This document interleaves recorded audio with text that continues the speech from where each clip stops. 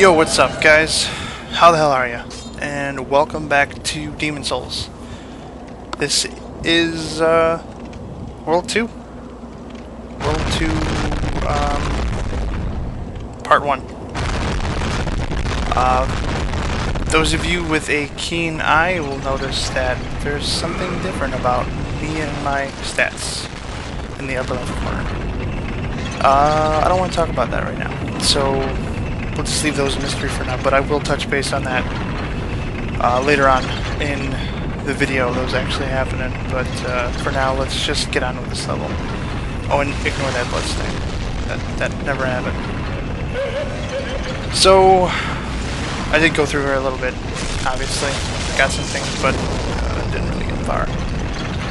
This is uh, my successful playthrough, I guess. This is uh, actually, I think this this level gets you better at the game. It improves your dodging if you have a person dodges, you know, fighting ability and all that shit. Sometimes hard to time stuff. Um, another note, grass, the stuff that you use to replenish your health, you don't want to waste it as much as I do in this level. I go through gra grass in this level like uh, like no tomorrow. It's it's ridiculous.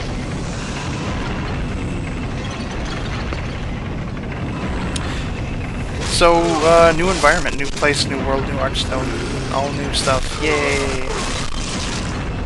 Um, this is the, I guess the burrowing, the burrowing king, I think that he's called. This is his world. So this is uh, one of the rare parts that I'll be above ground in this place. This is 90, 95% I guess underground, this world. Um, so yeah, clear those guys who are throwing rocks out. Don't have to worry about that, but I gotta, this is the real way to go. This, this way is the real way to go. So the enemies in this level, um, they're a lot dumber than the zombies in the last one, whatever those things were in the Boletarian Palace. As you can see, the upper right corner, this is the Stone thing Tunnel. I guess that's what I'll call these videos. Um, these guys are dumb, and they hurt because they just don't care, and uh, they barely give you any souls. So they're almost not worth fighting, but if you pass them up, they could uh, notice you're there and come follow you and hit you from behind when you least expect it. So uh, the way I approach this game, I'd rather be safe than sorry, especially at this point with how lacking in the gear department I am and how uh, low level I am.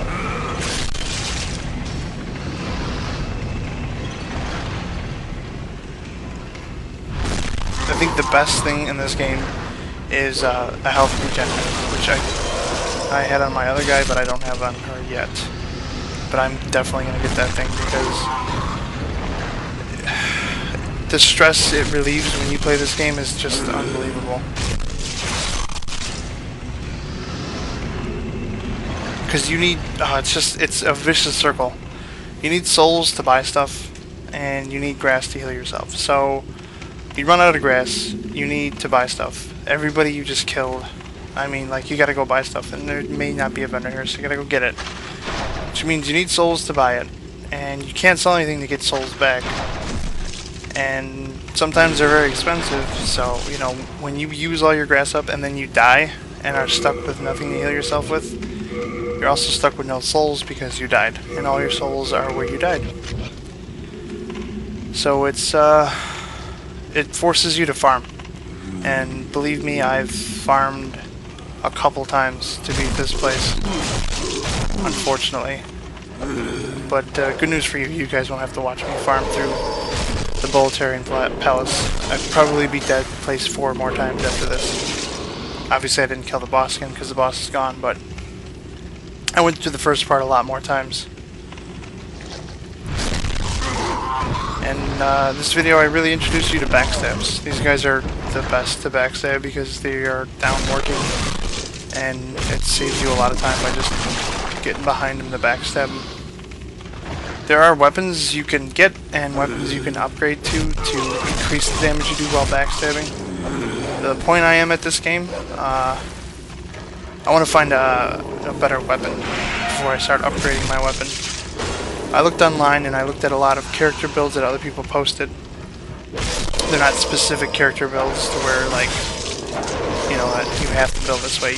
Once you basically start the game, you can build the character however you want. If I wanted to, I can change her to a straight up soldier, or I can change her to a straight up mage.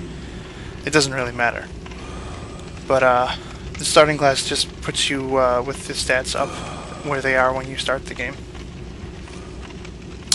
Yeah, backstab. So with this chick, I found a nice build called a, uh, a ninja build, which is basically, you know, one where you're sneaky, you're really easy, you know, really good dodge ability, and you're quick and strong. So that's like, that's everything I want to be with this character. So there's a better weapon than what I have to upgrade that I want to get, and I'm not sure which area I want to go to because when, there's just so much you can do in this game. Once you get like a weapon, you can upgrade it to keep basic stats, or you can upgrade it towards specific stats. Like you can make it a bleeding weapon, which um, you'll notice throughout this this weapon I have has a chance to make people bleed, which you'll hear a heartbeat noise, and you'll still see the health number above their head take down damage. Uh, it increases that and makes it hurt more. Uh, there's one where you can do more magical damage on your weapon, where you can crit more on your weapon, uh, just a whole bunch of shit. And uh, I haven't really decided what I want to lean towards first, but um, this level is, well this world is the best to help you upgrade because you need stones to upgrade your weapons, and I will find a lot of that in this level. Also, this level doesn't give you any grass at all. Um, well actually, these, the fire guys, are the only people I believe that drop grass and there's only a handful of them in this place. So all the grass I'm running, uh, I'm running through, I, I don't replenish like I did in the first world. This guy's, I have this guy bleeding. I don't know if you heard the heartbeat, but uh, you'll get a chance to hear some more.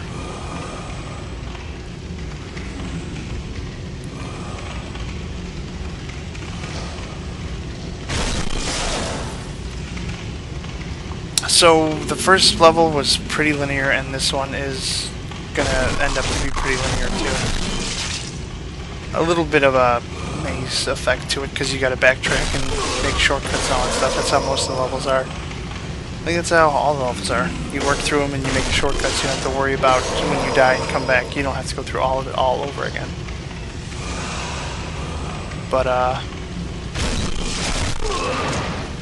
I'm not, you know, there's no gate in the front that I'm trying to open this one. I'm just working my way deeper and deeper into this these tunnels to eradicate all the demons, I guess.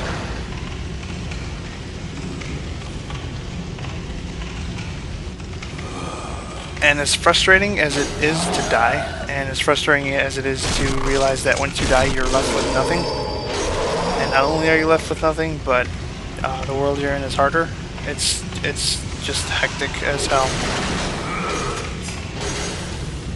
So, I think the video cuts mid-fight. Oh, I, I, take one of these guys out, and then I get another, the other guy in the next video. So I'll let this fight play out. You kinda, since you have a lot of time, you want to fight on your own terms. You don't want to rush into fighting. You don't want to get in that confined space, because I can't swing my weapon, and he can swing away because he doesn't really care. Crazy attacks like that that will hurt you like hell and just make you run through your grass. You want to save the grass as much as you can and take every advantage you can in the fight.